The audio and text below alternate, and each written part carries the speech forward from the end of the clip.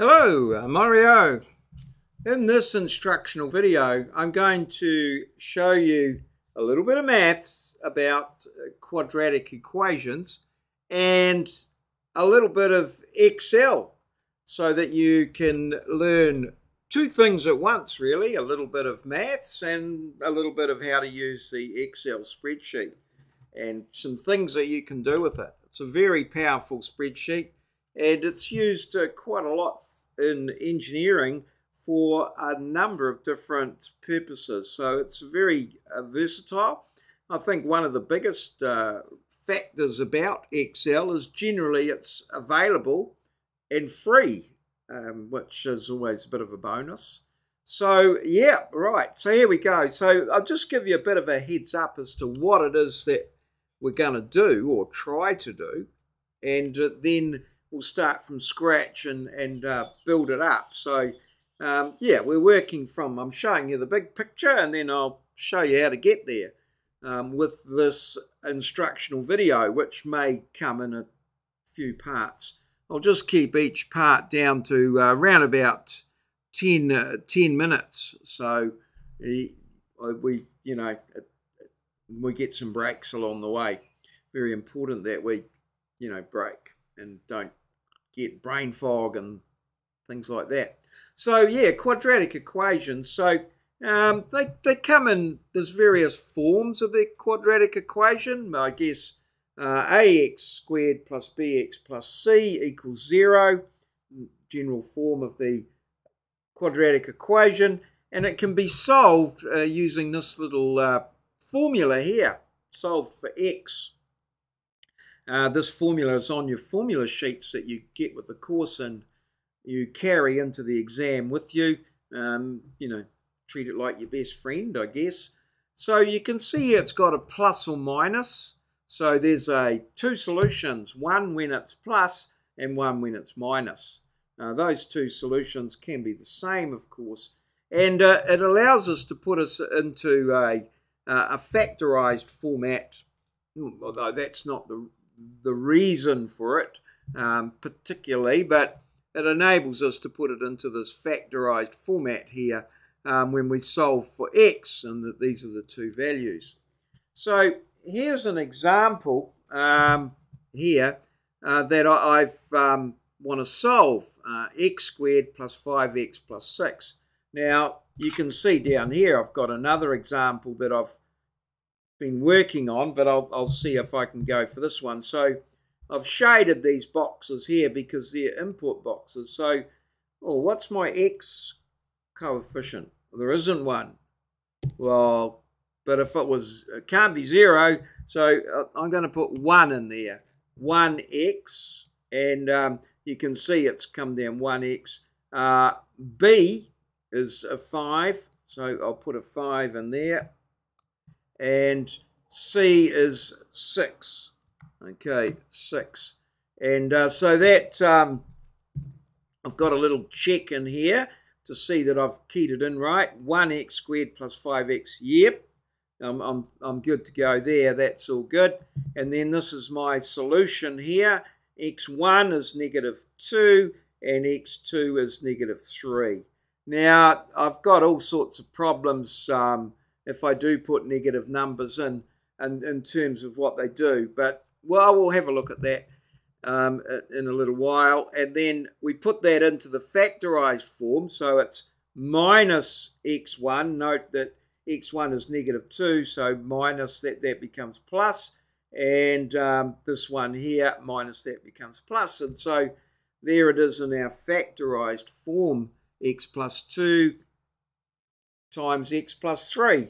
And some of us might be in the know, others maybe not. Um, don't worry. Um, this is information or things that you need to know. Um, so you'll have to, you know, back that up and, and, and, follow up on that. But if we multiply this out, there's our x squared uh, in there, plus 2x plus 3x is plus 5x, and then 2 times 3 is 6. So those of you that are have a little bit of knowledge of quadratic equations will will be able to see what that's all about. So there you go. Now, you do have, um, we do have some little, um, I mean, this program that I've got here is um, a bit of a diamond in the rough. Um, so it does need some refinement. And these things, with Excel, these things can be done, but they require a little bit more sophistication than we probably need at this stage of the journey. So I've kept them out of it. But um, say, for instance, if we made this uh, minus 5, um, you can see that um, we get in here uh, 1x squared plus negative 5. Well, it would be nice if that was just negative and then plus 6 and things like that. So um, as you can see, um, we could write um, some some code, I guess, um, for that, um, but um, not just now. We'll we'll leave that for uh, for later.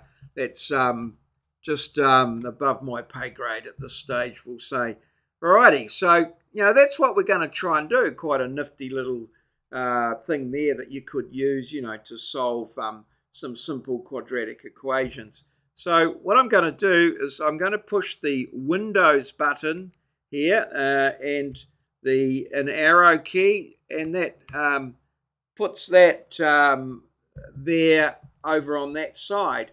And what I'll do now is I'll just uh, open a, um, a, a new um, a new um, one here. Uh, let's see, um, sort of Excel.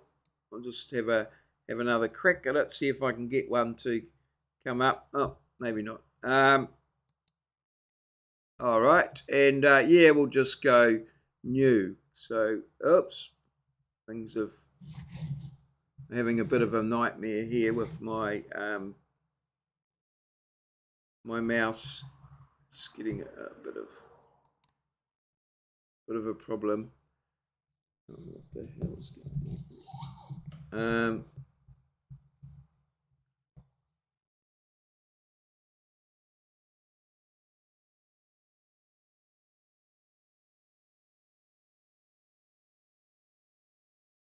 Okay. Um, the mouse got uh, a little a little bit a AWOL there. So uh, let's just go new and um, we'll just uh, do a blank workbook and I'm going to put that uh, on the left hand side of my screen. Um, and there's uh, that one on the right. So um, yeah a little bit of um, shenanigans there. But as you can see that's um, our um, I've got the one that we're aiming for on the left hand side of the screen. We don't quite need that at this stage. And uh, here it is here. So um, Right, let's uh, let's go and see if we can uh, get this. So I'm just going to start here and I'm going to, I like to use an Arial font. So I'm going to change my, uh, change my font here to um, Arial. There we go. And uh, I'm going to type in solving, um, oops, uh, caps lock, uh, solving um, quadratic, and equations. And I'm going to put that in there like that. And uh, I wanted that to be uh, underlined.